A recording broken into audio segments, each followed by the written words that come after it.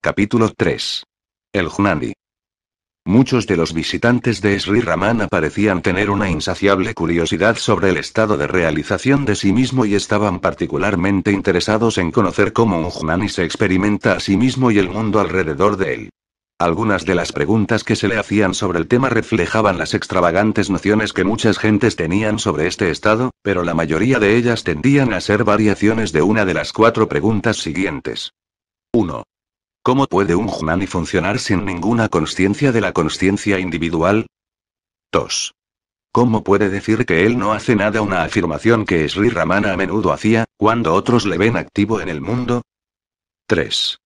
¿Cómo percibe el mundo? ¿Percibe el mundo siquiera? 4. ¿Cómo se relaciona la presencia de pura conciencia del Junani con los estados alternantes de conciencia del cuerpo-mente experimentados en la vigilia, sueño y sueño profundo?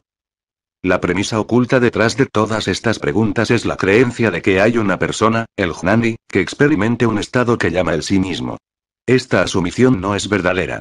Es meramente una construcción mental inventada por aquellos que no han realizado el sí mismo, ajnanis, para hacerse una idea de la experiencia del Junani.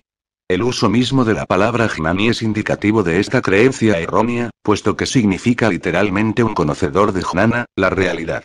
El Ajnani usa este término debido a que imagina que el mundo está hecho de buscadores de la realidad y de conocedores de la realidad. La verdad del sí mismo es que no hay ni Jnanis ni Ajnanis, hay solamente Jnana. Sri Ramana señaló esto tanto directa como indirectamente en muchas ocasiones, pero pocos de sus interlocutores eran capaces de entender, siquiera intelectualmente, las implicaciones de una tal afirmación. Debido a esto, usualmente adaptaba sus ideas de tal manera que se conformaban a los prejuicios de sus interlocutores. En la mayoría de las conversaciones de este capítulo acepta que sus interlocutores perciban una distinción entre el Junani y el Ajnani, y sin desafiar la base a esa presunción, asume el papel del Junani e intenta explicar las implicaciones de estar en ese estado. Pregunta. Entonces, ¿cuál es la diferencia entre el Banda y el Mukta, el hombre atrapado y el liberado? Respuesta. El hombre ordinario vive en el cerebro, inconsciente de sí mismo en el corazón. El Jnana Siddha vive en el corazón. Cuando se mueve y trata con los hombres y las cosas, sabe que lo que ve no está separado de la única realidad suprema, el Brahman, el cual él lo ha realizado en el corazón como su propio sí mismo, lo real. Pregunta. ¿Qué hay sobre el hombre ordinario? Respuesta. Acabo de decir que ve las cosas fuera de sí mismo. Está separado del mundo, de su propia verdad más profunda, de la verdad que le soporta y de lo que ve. El hombre que ha realizado la suprema verdad de su propia existencia se da cuenta de que ella es la única realidad suprema que hay detrás de él, detrás del mundo. De hecho, es consciente, aguare, de lo uno, como lo real, el sí mismo en todos los sí mismos, en todas las cosas, eterno e inmutable, en todo lo que es impermanente y mutable. Pregunta. ¿Cuál es la relación entre la pura conciencia realizada por el Jnani y la yo soidad, la cual se acepta como el dato de experiencia primario?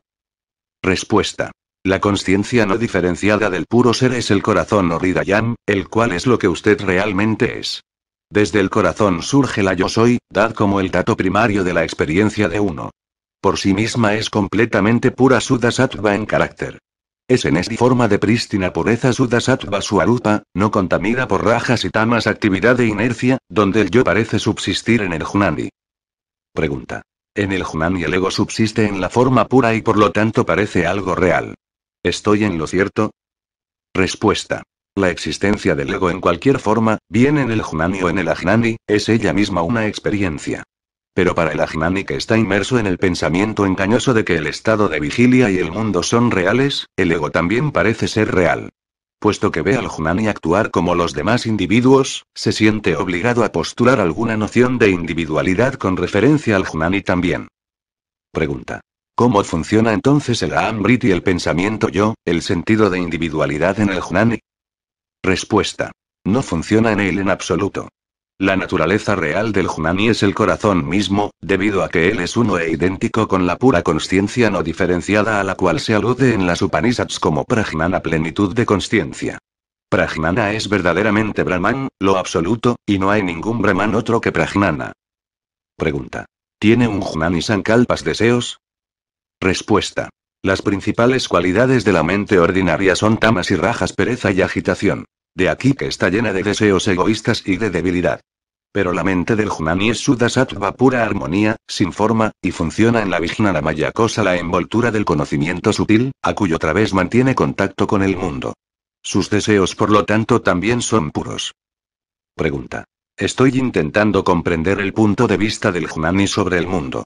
¿Se percibe el mundo después de la realización del sí mismo? Respuesta. ¿Por qué se preocupa usted del mundo y de lo que le acontece después de la realización de sí mismo? Primero realice el sí mismo. ¿Qué importa si el mundo se percibe o no? ¿Gana usted algo que le ayude en su búsqueda por la no percepción del mundo durante el sueño profundo? Inversamente, ¿qué pierde usted ahora con la percepción del mundo? Es completamente insignificante para el Junani o el Ajnani si percibe el mundo o no. Ambos lo ven, pero sus puntos de vista difieren. Pregunta. Si el Junani y el Ajnani perciben el mundo de la misma manera, ¿dónde está la diferencia entre ellos?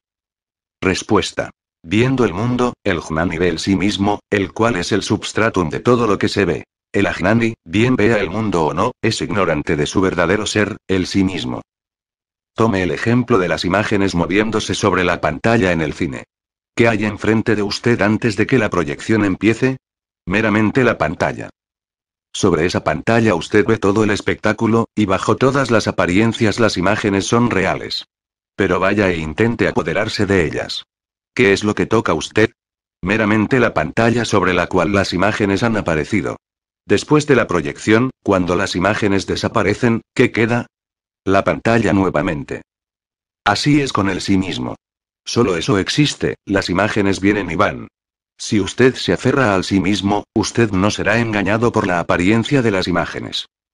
Tampoco importa en absoluto si las imágenes aparecen o desaparecen.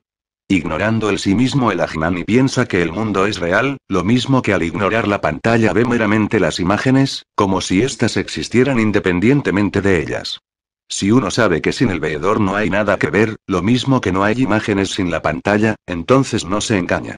El Jnani sabe que la pantalla y las imágenes son solamente el sí mismo. Con las imágenes el sí mismo está en su forma manifestada. Sin las imágenes permanece en la forma no manifestada. Para el Junani es completamente insignificante si el sí mismo está en una forma o la otra. Él es siempre el sí mismo. Pero el Ajnani, al ver al Junani activo, se confunde. Pregunta. ¿Vagaban ve el mundo como parte y parcela de sí mismo? ¿Cómo ve Vagaban el mundo? Respuesta. Solo el sí mismo es y nada más es. Sin embargo, es diferenciado debido a la ignorancia. La diferencia es triple. 1. De la misma especie. 2. De una especie diferente. Y. 3. Como partes en sí mismo. El mundo no es otro sí mismo similar al sí mismo. No es diferente del sí mismo. Y no es tampoco parte del sí mismo. Pregunta. ¿No se refleja el mundo sobre el sí mismo? Respuesta. Para que haya reflexión debe haber un objeto y una imagen. Pero el sí mismo no admite estas diferencias. Pregunta. ¿Tiene un Junani sueños? Respuesta. Sí, sueña, pero sabe que es un sueño, de la misma manera en que sabe que el estado de vigilia es un sueño. Usted puede llamarlos sueño N1 y sueño N2. El Jnani, puesto que está establecido en el cuarto estado Turilla, la realidad suprema presencia desapegadamente los otros tres estados, vigilia, sueño con sueños y sueño profundo, como imágenes sobreimpuestas sobre él.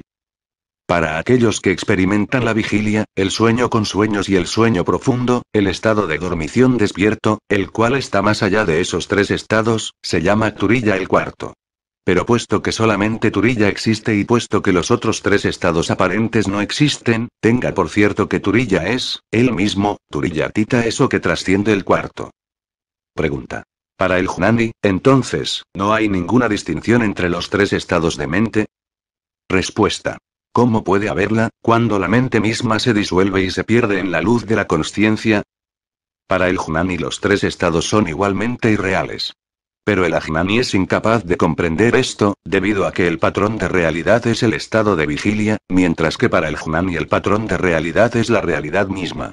Esta realidad de pura conciencia es eterna por naturaleza y por lo tanto subsiste igualmente durante lo que usted llama vigilia, sueño con sueños y sueño profundo. Para el que es uno con la realidad no hay ni la mente ni sus tres estados y, por lo tanto, ni introversión ni extroversión. El suyo es el estado siempre despierto, debido a que está despierto al sí mismo eterno. El suyo es el estado siempre soñante, debido a que para él el mundo no es mejor que un fenómeno de sueño repetidamente presentado. El suyo es el estado siempre dormido, debido a que él está en todo momento sin la conciencia yo soy el cuerpo. Pregunta. ¿No hay ninguna de Agma Budi idea yo soy el cuerpo para el Jnani? Sí, por ejemplo, es Rivagavan es picado por un insecto, ¿no hay ninguna sensación? Respuesta. Hay la sensación y hay también la de Agma Budi. Esto es común al Jnani y al Ajnani con esta diferencia, que el Ajnani piensa. Solamente el cuerpo es mí mismo, mientras que el Jnani sabe que todo es del sí mismo, o que todo esto es Brahman. Si hay dolor, que lo haya. Es también parte del sí mismo. El sí mismo es purna todo. Después de trascender la de Adma Budi la idea yo soy el cuerpo uno deviene un Jnani. En la ausencia de esa idea no puede haber ni Kartrigva obra ni carta hacedor. Así pues, un Jnani no tiene ningún karma, es decir, un Jnani no hace ninguna acción. Esa es su experiencia. De otro modo no es un Jnani. Sin embargo, el Ajnani identifica al Jnani con su cuerpo, lo cual el Jnani no hace. Pregunta. Yo le veo a usted hacer cosas. ¿Cómo puede usted decir que nunca hace acciones? Respuesta. La radio canta y habla, pero si la abre usted no encontrará a nadie adentro. Similarmente, mi existencia es como el espacio. Aunque este cuerpo habla como la radio, no hay nadie dentro como hacedor. Pregunta. Encuentro esto difícil de comprender. ¿Podría usted, por favor, extenderse sobre ello? Respuesta. Se dan en los libros diferentes ilustraciones para facilitarnos la comprensión de cómo el Jnani puede vivir y actuar sin la mente, aunque vivir y actuar requiere el uso de la mente. La rueda del alfarero continúa girando después de que el alfarero ha dejado de hacerla girar y una vez terminada la pieza. De la misma manera, el ventilador eléctrico continúa dando vueltas durante algunos minutos después de que lo desenchufamos de la corriente. El prarabdha karma predestinado que creó el cuerpo lo hará pasar por todas las actividades para las que fue creado. Pero el Jnani pasa por todas estas actividades sin la noción de que él es el hacedor de ellas. Es difícil comprender cómo esto es posible. La ilustración dada generalmente es que el Jnani lleva a cabo las acciones de manera semejante a como un niño que es sacado del sueño para comer. Come pero no recuerda a la mañana siguiente que comió. Hay que tener presente que todas estas explicaciones no son para el Jnani. Él sabe y no tiene ninguna duda. Sabe que él no es el cuerpo y sabe que no está haciendo nada aunque su cuerpo pueda estar entregado a alguna actividad. Estas explicaciones son para los espectadores que piensan en el Jnani como alguien con un cuerpo y no pueden remediar identificarle con su cuerpo. Pregunta. Se dice que el choque de la realización es tan grande que el cuerpo no puede sobrevivir a él. Respuesta. Hay varias controversias o escuelas de pensamiento en lo que concierne a si un Jnani puede continuar viviendo en su cuerpo físico después de la realización. Algunas sostienen que el que muere no puede ser un Jnani debido a que su cuerpo debe esfumarse en el aire, o alguna cosa por el estilo. Suscitan toda clase de nociones divertidas. Si un hombre debe dejar en el acto su cuerpo cuando realiza el sí mismo, yo me pregunto cómo algún conocimiento del sí mismo o del estado de realización puede llegar alguna vez a los demás hombres. Y eso querría decir que todos aquellos que nos han legado los frutos de su realización del sí mismo en libros no pueden ser considerados jnanis debido a que continuaron viviendo después de la realización. Y si se sostiene que un hombre no puede ser considerado un jnani mientras lleva a cabo acciones en el mundo, y la acción es imposible sin la mente, entonces no solamente los grandes sabios que llevaron a cabo diversos tipos de obras después de alcanzar jnana deben ser considerados ajnanis sino los dioses también, e Ishwara el dios personal supremo del hinduismo mismo, puesto que continúa cuidando del mundo. El hecho es que cualquier tipo de acción puede ser llevada a cabo, y llevada a cabo completamente bien, por el Jnani, sin que se identifique a sí mismo con ella de ninguna manera y sin que imagine nunca que él es el hacedor. Algún poder actúa a través de su cuerpo y usa su cuerpo para hacer que el trabajo se haga. Pregunta. ¿Es un Jnani capaz de cometer pecados? ¿Comete un Jnani pecados? Respuesta. Un Jnani ve a alguien como un Jnani y le identifica con el cuerpo. Debido a que no conoce el sí mismo y a que toma erróneamente su cuerpo por el sí mismo, extiende el mismo error al estado del Jnani. El Jnani es considerado por lo tanto ser la forma física. Nuevamente, puesto que el Ajnani, aunque no es el hacedor, se imagina que es el hacedor y considera las acciones del cuerpo como suyas propias, piensa que el Jnani está actuando similarmente cuando el cuerpo está activo. Pero el Junani mismo sabe la verdad y no está confundido. El estado de un Junani no puede ser determinado por el Ajnani y por lo tanto la cuestión perturba solamente al Ajnani y jamás surge para el Junani. Si alguien es un hacedor debe determinar la naturaleza de las acciones. El sí mismo no puede ser el hacedor. Descubra quién es el hacedor y el sí mismo se revela. Pregunta. Así pues, todo se resume a esto. Ver a un Junani es no comprenderle. Se ve el cuerpo del Junani pero no su Jnana. Uno debe por lo tanto ser un Junani para conocer a un Junani. Respuesta. El Junani no ve a nadie como una Jnani. Todos son solamente Jnanis a su vista. En el estado ignorante uno sobreimpone su ignorancia sobre un Junani y le toma erróneamente por un hacedor. En el estado de Jnana, el Junani no ve nada separado del sí mismo.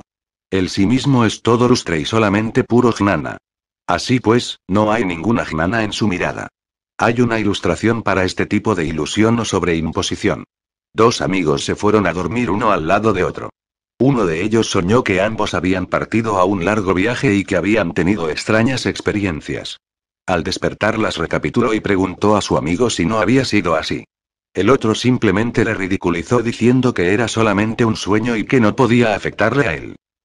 Así ocurre con el ajnani que sobreimpone sus ideas ilusorias sobre los demás. Pregunta. Usted ha dicho que el Junani puede ser y es activo, y que trata con los hombres y las cosas. No tengo ninguna duda sobre ello ahora. Pero usted dice al mismo tiempo que no ve ninguna diferencia. Para él todo es uno, él está siempre en la consciencia. Si es así, ¿cómo trata con las diferencias, con los hombres, con las cosas, las cuales son ciertamente diferentes? Respuesta. Él ve estas diferencias solo como apariencias, no las ve como separadas de lo verdadero, de lo real, con lo cual él es uno. Pregunta. El Jnani parece ser más exacto en sus expresiones, aprecia las diferencias mejor que el hombre ordinario. Si el azúcar es dulce y la hiel es amarga para mí, él también parece darse cuenta de ello. De hecho, todas las formas, todos los sonidos, todos los sabores, etc., son lo mismo para él que para los demás. Si es así, ¿cómo puede decirse que estos son meras apariencias? ¿No forman parte de su experiencia vital? Respuesta. He dicho que la igualdad es el verdadero signo de Jnana. El término mismo de igualdad implica la existencia de diferencias. Es una unidad que el Jnani percibe en todas las diferencias, a la cual yo llamo igualdad. La igualdad no significa ignorancia de las distinciones. Cuando usted tiene la realización, usted puede ver que estas diferencias son muy superficiales, que no son en absoluto substanciales o permanentes, y que lo que es esencial en todas estas apariencias es la verdad una, lo real. A eso yo lo llamo unidad. Usted se ha referido al sonido, al gusto, a la forma, al olor, etc. Ciertamente el Junani aprecia las distinciones, pero siempre percibe y experimenta la realidad única en todas ellas. Por eso es por lo que no tiene ninguna preferencia. Bien se mueva, o hable, o actúe, todo es la realidad única en la cual él actúa o se mueve o habla. No tiene nada aparte de la suprema verdad única. Pregunta. Se dice que el Junani se conduce con absoluta igualdad hacia todo. Respuesta. Sí. La amistad, la bondad, la felicidad y tales otros babas actitudes de bien en naturales para ellos. La afección hacia el bueno, la bondad hacia el desválido, la felicidad en hacer buenas obras, el perdón hacia el malvado, tales cosas son todas características naturales del Jnani, Patanjali, Yoga Sutras, 1, 37. Usted pregunta sobre los Jnanis. Ellos son lo mismo en cualquier estado o condición, pues conocen la realidad, la verdad. En su rutina diaria de tomar alimento, de moverse y todo lo demás, ellos, los Jnanis, actúan solamente para los demás. Ni una sola acción se hace para sí mismos. Ya les he dicho a ustedes muchas veces que lo mismo que hay gentes cuya profesión es llorar por un difunto, así también los Jnanis hacen las cosas para beneficio de los demás con desapego, sin que ellos mismos sean afectados por ellas. El Jnani llora con el que llora, ríe con el que ríe, juega con el que juega, canta con aquellos que cantan, dando tiempo al canto. ¿Qué pierde? Su presencia es como un puro y transparente espejo. Refleja la imagen exactamente como es. Pero el Jnani, que es solamente un espejo, no es afectado por las acciones. ¿Cómo puede un espejo, o el estante sobre el cual se apoya, ser afectado por las reflexiones? Nada les afecta pues ellos son meros soportes. Por otra parte, los actores en el mundo, los hacedores de todos los actos, los ajinanis deben decidir por sí mismos qué canto y cuál acción resultarán en el bienestar del mundo, cuál está de acuerdo con los sastras, y cuál es practicable. Pregunta. Se dice que son Sadea Mutta liberado mientras está todavía en el cuerpo y Videa Mutta liberado en el momento de la muerte. Respuesta. No hay ninguna liberación, ¿y dónde están los Muttas liberados? Pregunta. ¿No hablan los astras escrituras hindúes de Mutti liberación? Respuesta. Mutti es sinónimo de sí mismo. Jivan Mutti liberado mientras está todavía en el cuerpo y Videa Mutti son para el ignorante. El Jnani no es consciente de Mutti liberación ni de banda esclavitud. La esclavitud, la liberación y los grados de Mutti se dicen todos para una Jnani a fin de que esa ignorancia pueda ser erradicada. Hay solamente Mutti y nada más. Pregunta. Está bien desde el punto de vista de Bhagavan. ¿Pero qué hay sobre nosotros? Respuesta. La diferencia él y yo son los obstáculos a Jnana. Pregunta. Usted dijo una vez. El hombre liberado es libre en verdad de actuar como quiere, y cuando deja el paquete mortal, alcanza la absolución, pero no retorna a este nacimiento que es de hecho la muerte. Estas palabras dan la impresión de que aunque el Jnani no toma nacimiento de nuevo sobre este plano, puede continuar trabajando sobre planos más sutiles, si así lo elige. ¿Queda en él algún deseo de elegir? Respuesta. No, esa no era mi intención. Pregunta. Además, un filósofo indio, en uno de sus libros, interpretando a Sankara, dice que no hay ninguna cosa tal como Mutti liberado en el momento de la muerte, pues después de su muerte, el Mutta toma un cuerpo de luz en el cual permanece hasta que toda la humanidad se libera. Respuesta. Eso no puede ser el punto de vista de Sankara. En el verso 566 de Vivekachudamani dice que después de la disolución de la envoltura física, el hombre liberado deviene como agua vertida en agua y aceite en aceite. Es un estado en el cual no hay esclavitud ni liberación. Tomar otro cuerpo significa tender un velo, por muy sutil que sea, sobre la realidad, lo cual es esclavitud.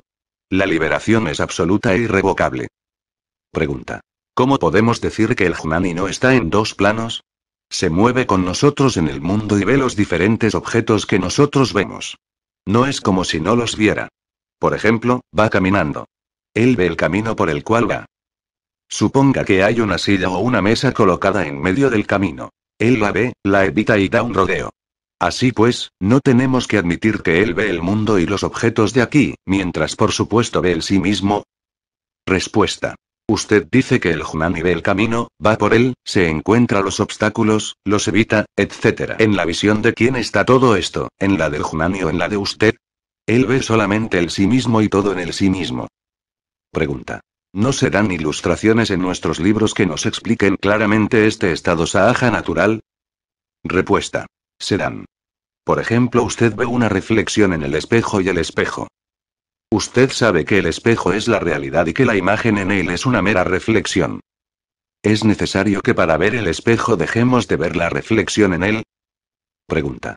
¿Cuáles son las pruebas fundamentales para descubrir hombres de gran espiritualidad, puesto que se cuenta que algunos se comportan como gentes enajenadas? Respuesta. La mente del Jnani es conocida solamente por el Jnani. Se debe ser uno mismo Jnani a fin de comprender a otro Jnani. Sin embargo, la paz de mente que impregna la atmósfera del santo es el único medio por el cual el buscador comprende la grandeza del santo. Sus palabras o acciones o apariencia no son ninguna indicación de su grandeza, pues ellos está ordinariamente más allá de la comprensión de las gentes comunes. Pregunta. ¿Por qué se dice en las escrituras que el sabio es como un niño? Respuesta. Un niño y un jnani son similares en un punto. Los incidentes interesan a un niño solamente mientras duran. Deja de pensar en ellos una vez que han pasado. Así pues, es evidente que no dejan ninguna impresión sobre el niño y que el niño no es afectado por ellos mentalmente. Ocurre lo mismo con un Jnani. Pregunta. Usted es Bhagavan el Señor. Así pues, usted debe saber cuándo obtendré Jnana. Dígame cuándo seré un Jnani. Respuesta. Sí, yo soy Bhagavan, no hay nadie aparte del sí mismo, por lo tanto, ningún Jnani ni Jnani. Si es de otro modo, yo soy tan bueno como usted y sé tanto como usted mismo. En ninguno de ambos casos puedo responder a su pregunta. Cuando vienen aquí, algunas gentes no preguntan sobre sí mismos. Preguntan. ¿Ve el Jivan Mutta el mundo? ¿Es afectado por el karma? ¿Qué es la liberación después de desencarnarse? ¿Se libera uno solo después de desencarnarse o mientras está todavía vivo en el cuerpo? ¿Debe el cuerpo del sabio resolverse en luz o desaparecer de la vista de cualquier otra manera? ¿Puede liberarse si el cuerpo se queda atrás como un cadáver? Sus preguntas son inacabables. ¿Por qué preocuparse de tantísimas cuestiones? ¿Consiste la liberación en conocer estas cosas? Por lo tanto, yo les digo, dejen la liberación en paz. ¿Hay esclavitud? Conózcanla. Véanse a ustedes mismos primero y por encima de todo.